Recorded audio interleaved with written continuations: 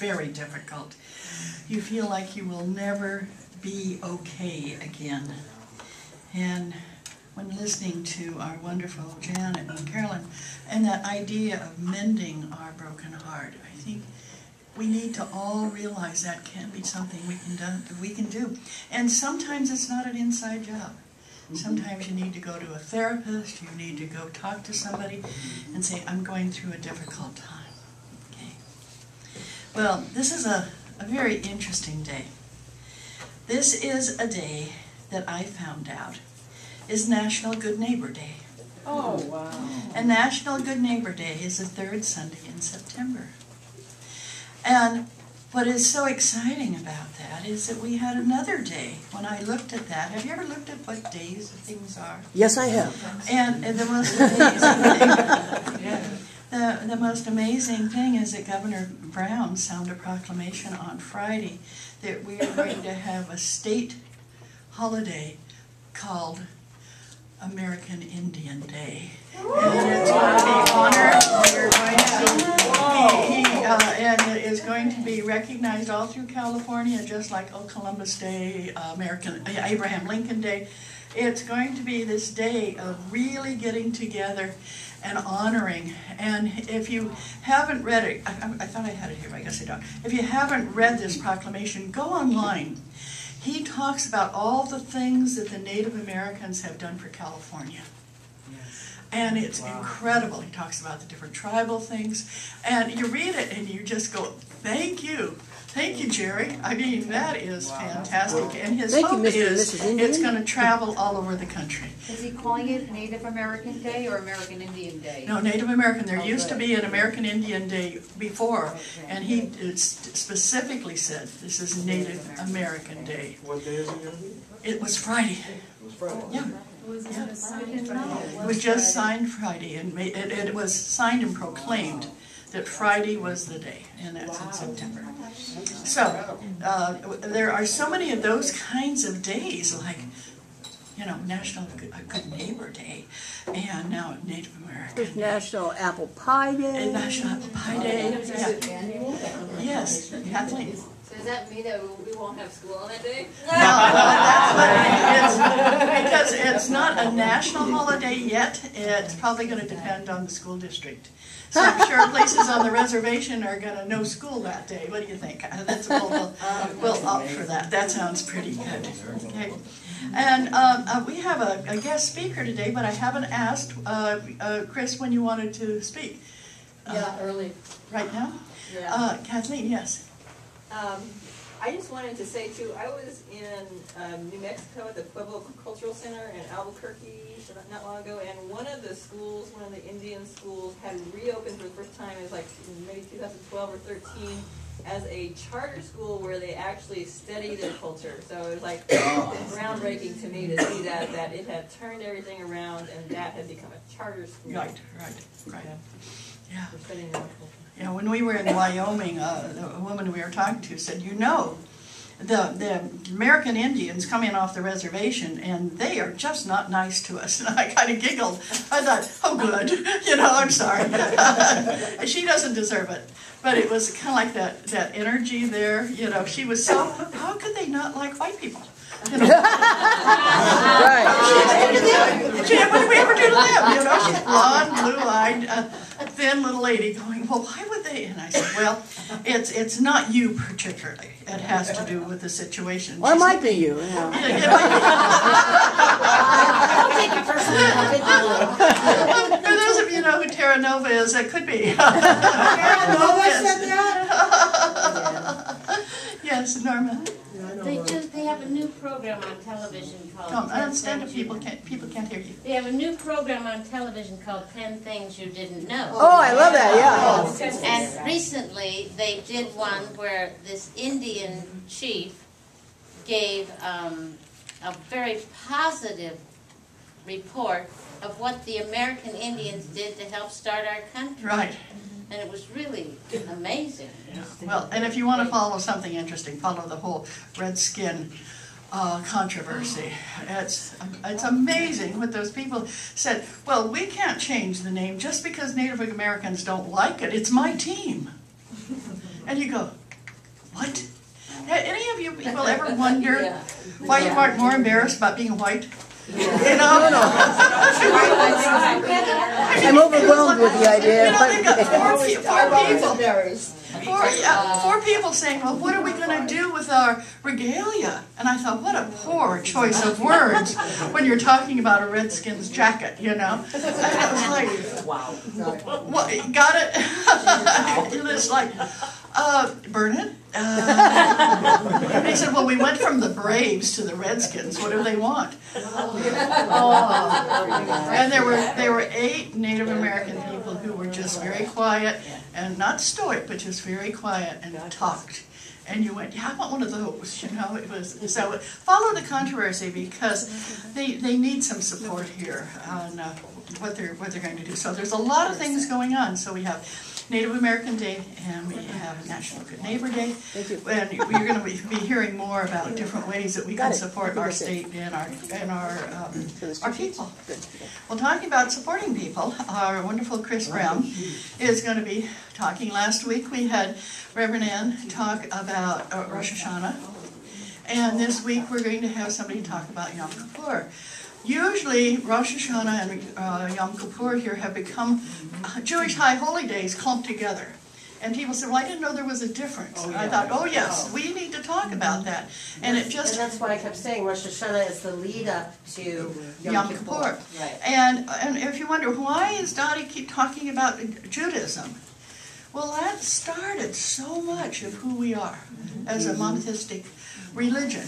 And so many religions come from the Old Testament, they come from Judaism. So that's why we're talking about our roots, we're talking about the basis. And so please welcome uh, Chris Brown. Yay! Come on up. Right. Thank you. Hello, Chris. Dottie, you're very special. I really appreciate you. Well, thank you. I like that. We, we appreciate you too, or you wouldn't be up here. Standing in front of a microphone is the second to the But I wasn't reading it. Did we start calling you Rabbi Brown now? And New Year's for me. Well, you know, it is a question. I do have a different name. I, I have a name that's not Chris, so that I can circulate in synagogues and other places. So put your, put your face closer to the mic so, so we all can hear you. Whether your name is Chris or not, it's okay. Yeah, it was, it was uncomfortable for me. So, um,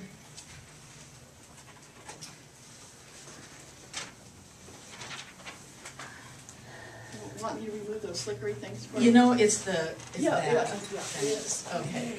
Oh, good. I, I am truly, truly pleased to, to stand here and, and talk about what we're, what I'm gonna talk about today, and I'm gonna have some help from Janet as well.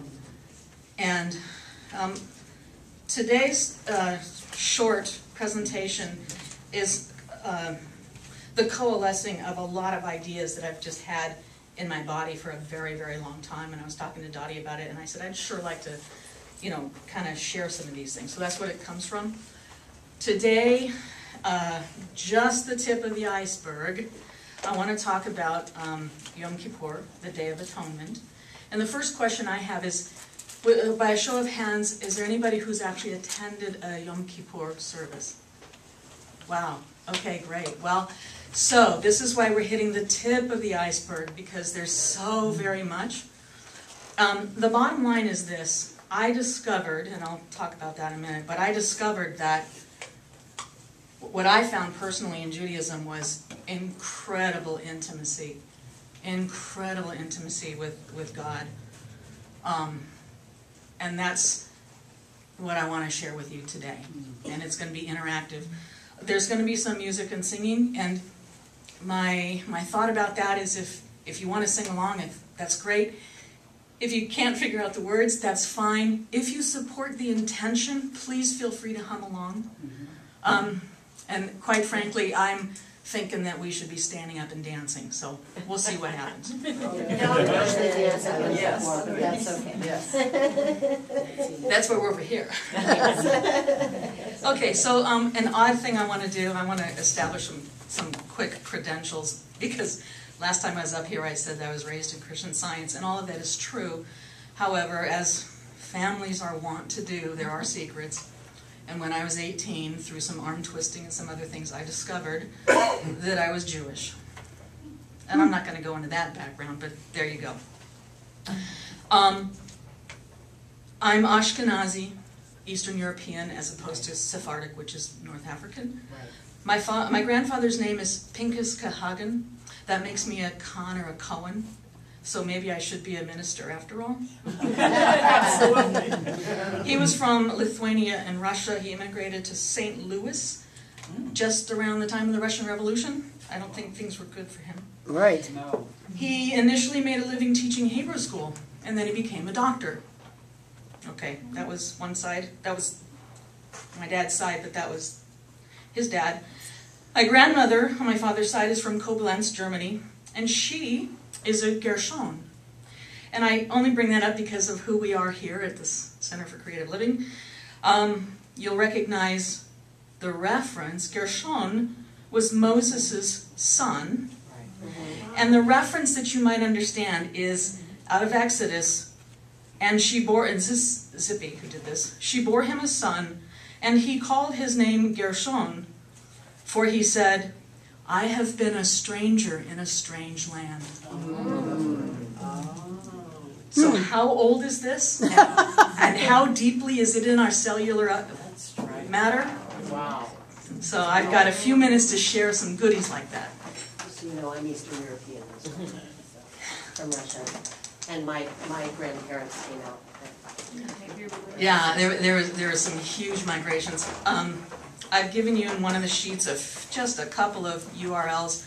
You could look this up for days, weeks, months, years, and that's an understatement. So I'm going to go through some things um, and hit. I'm going to. What I put together were the four things that most move me out of the many, many, many, many things that move me. The four things that just move me incredibly. Um, so I spent a number of years going to temple in San Francisco, the gay synagogue. and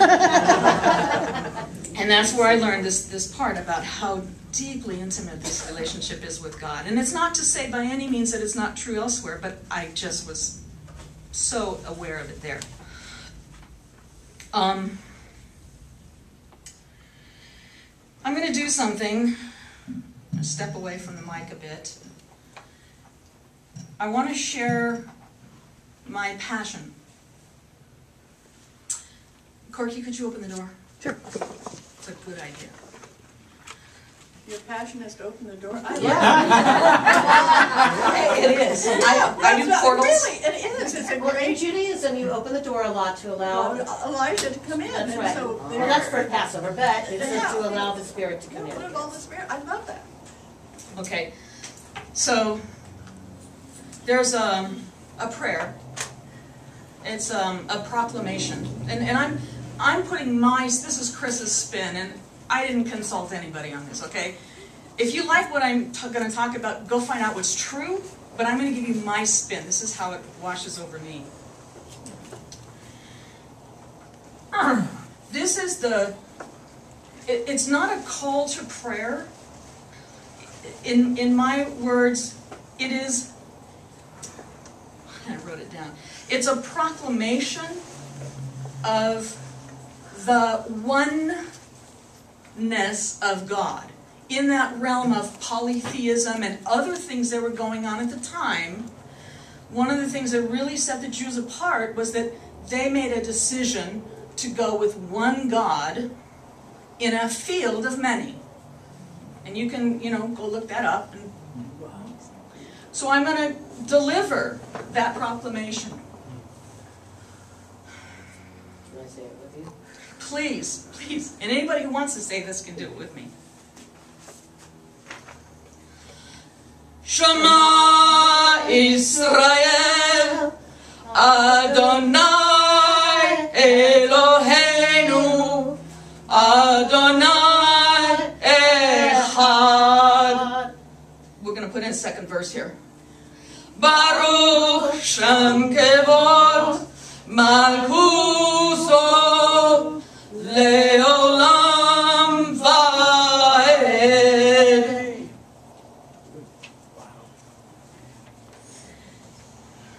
I need to do that. And uh, a couple people in this room know I have done it to the freeway. And I have done it across buildings. And it wasn't big enough. That's my passion. So what what I we because I heard it from several people. What we just delivered is the following. Hear, O Israel, the Lord is our God, the Lord is one. And this is, again, in a field of many. So, I want to give you two passages from Deuteronomy to, to support this concept just ever so slightly. And by the way, I should tell you what it said first. I, you've got this in the notes. Blessed be, excuse me, Hear, O Israel, the Lord is our God, the Lord is one. Followed by, Blessed be the name of his glorious kingdom forever and ever. In English, it works out a little bit better with, Blessed is he whose glorious kingdom is forever and ever. A lot of the pieces can go together in different ways, but I want to give you a flavor of it so you know if you choose to repeat it what you're saying. In Deuteronomy, um, two passages. One, do not follow other gods, the gods of the peoples around you. So there's an insight into what was going on. Do this because those guys are doing that. And the second one is you must not turn away from all the commandments I'm giving you today to either the right or to the left, nor pursue other gods and worship them. So I'm just kind of reminding you of what it used to be like. And that is that is how the, this idea of Judaism and not Judaism, talked about it before, me, not me, us, not us. So this is who we are, and this is one of the huge things that makes us different, us being the early Israelites, from the other people. And as Dottie said, these are the foundations of, I don't know how many billion people, but you know, a tremendous number of people on the earth. The Jewish, the Christian, the Islam, and all the ones who use those as base actually come from this moment. Would you guys, you don't have to do it loud, would you like to recite this? Yeah, Okay. Where, where are we? What page? First. First page, in blue. Okay. In blue. In- So, Oh, okay. it's pretty much transliterated right Yeah. there. Not the URL. Hear, O Israel, Do- um, you have a, Under liturgy. Yeah, it's under liturgy, it's Right. in blue, the English is in purple. Right. Hear, O Israel, the Lord is our God, the Lord is one. So I'll say it, and you can repeat after me. I have my accent, there's many accents, there's many melodies. Shema Israel, Shema Israel. Adonai Eloheinu. Adonai Eloheinu. Adonai Echad.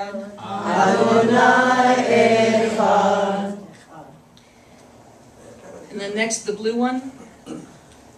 Baruch Shem Kevod. Baruch Shem Kevod. Malkuso. Makuso Leolam Vaed. Leolam Vaed. That last piece was the forever and ever pe- piece. You, we hear it a lot. Mm-hmm. And I wrote in the notes if, if you flip to the backside. So Baruch means blessed. You have a guy you might know named Barak. Mm-hmm. Not Jewish, G. Semite, the, the, the, the son of Noah, Shem. Mm-hmm. Semite. Oh. And it's the same name as Benedict. Okay. All right, now, I'm going to move on because I only have a couple of minutes and I want to hit some more high points. So, what is the meaning of Yom Kippur, the Day of Atonement? Um, so, I'm going to read from Wikipedia. It's just concise. According to Jewish tradition, God inscribes each person's fate for the coming year into a book, the Book of Life. They do that on Rosh Hashanah, the first of 10 days. That's the new year. And God waits until Yom Kippur for 10 days to seal the verdict. Seal is a magic word. If you know this word, seal. During the days of awe, or the high holy days, a Jew tries to amend his or her behavior and seeks forgiveness for wrongs done against God and against other human beings. The evening and day of Yom Kippur are set aside for public and private petitions and confessions of guilt. At the end of Yom Kippur, one hopes, and I change that word to celebrates, one celebrates that they indeed have been forgiven by God. So, in, uh, in other traditions, one is contrite, one says, you know, one, one bears one's soul, and then through that process, there's a cleansing. Thanks again, Donnie. It goes right into that, a cleansing. Um, and on Yom Kippur, Jews focus on purity, and as such, they become like angels for the day. Ooh. Thank goodness it's only one day. There's other days, right, in the calendar where the veil is lifted, and this is one of those days where this veil is lifted.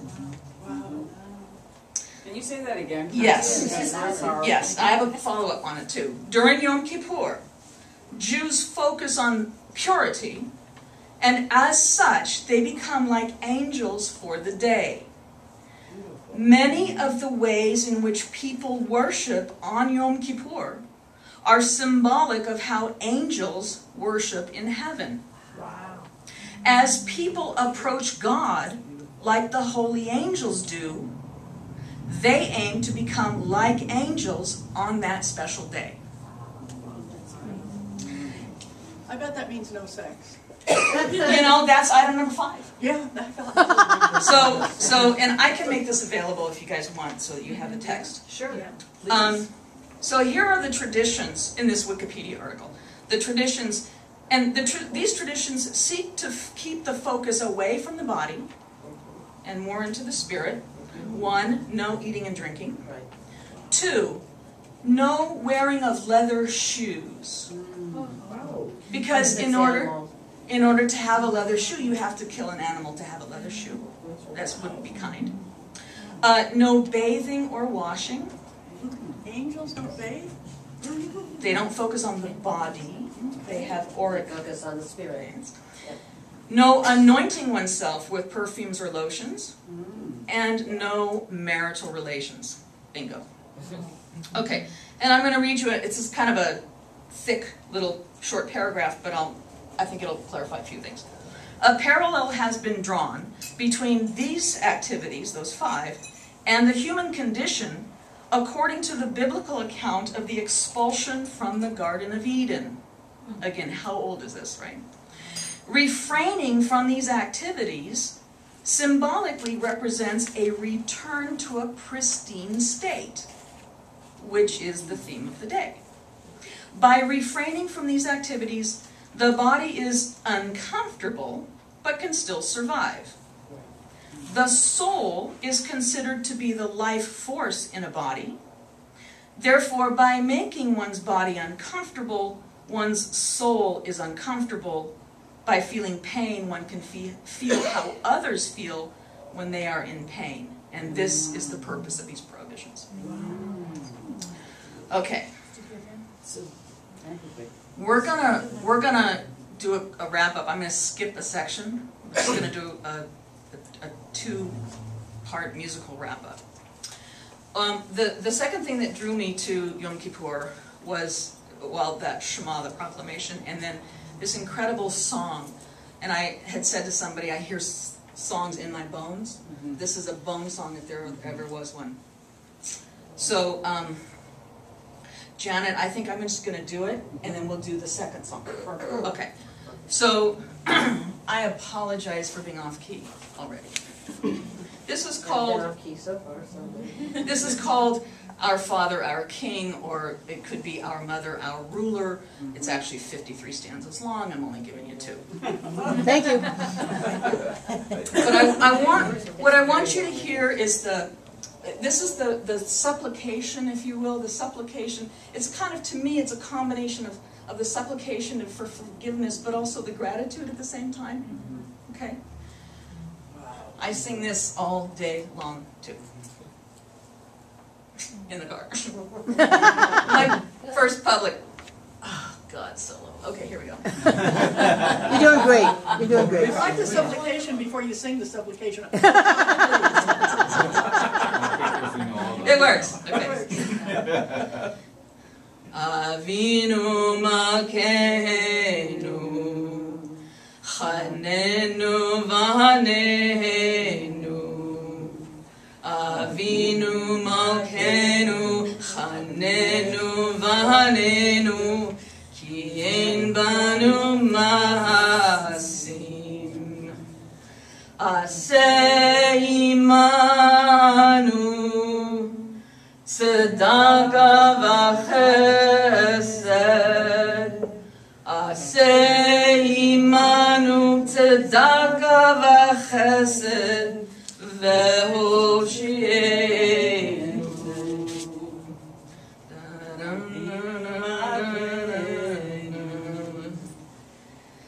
So if you can imagine a thousand people, two thousand people having expressed, and I want to make one point about this. When, the, when you go to Yom Kippur and you say, you don't say, I have done this, I have done that. The phrase is we. Mean mm-hmm. and that's key here, especially with the neighborhood. We, our community, our neighborhood, we have done, this. we have lied, we have cheated, we have stolen, we have sinned against God, we have done these things. And everybody can find his or her spot mm-hmm. in there where there's like a weakness in that self protection. Oh, mm. yeah, you know, I did that. So, I'm going to go ahead and stop here because I could talk for hours about this. Thank you for listening. Janet, Janet is going to sing a song. Okay. We're all gonna sing it Well, together. I'll sing it with you, Jan. Jan, I heard you rehearsing it. I know what you're gonna sing. And sorry, we only decided after we got here. Yeah. It's okay. It comes So- together. Thank you for. You know, I, I like the, the, the talk about angels because what we always talk about at Yom Kippur, thank you, Chris, that was beautiful. Yay, um, Chris. Was, is that that's the day the gates of heaven open. So, so what happens is that as you go through Rosh Hashanah and you release and you ask forgiveness and from people in a physical sense and then enter into Yom Kippur as, as I love what you put here on your paper, atonement being at oneness. That is what that is. That's your time of being at oneness with God. Sorry for following up with you, Chris, but this is beautiful said. Mm-hmm. That's the angelic energy is because the gates of heaven open. And as we become at one with that God energy and we are feeling the forgiveness, we are feeling that oneness that is truly ours always. So I just wanted to add that, and thank you, Chris, that was beautiful. Beautiful. And Chris, you made it alive because you made it intimate. And, you know, that- that's the thing is, it's intimacy that breaks open our hearts. And it's the community that holds our hearts. So, join with us.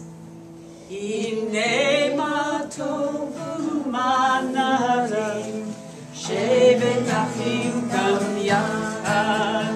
Hine ma tovu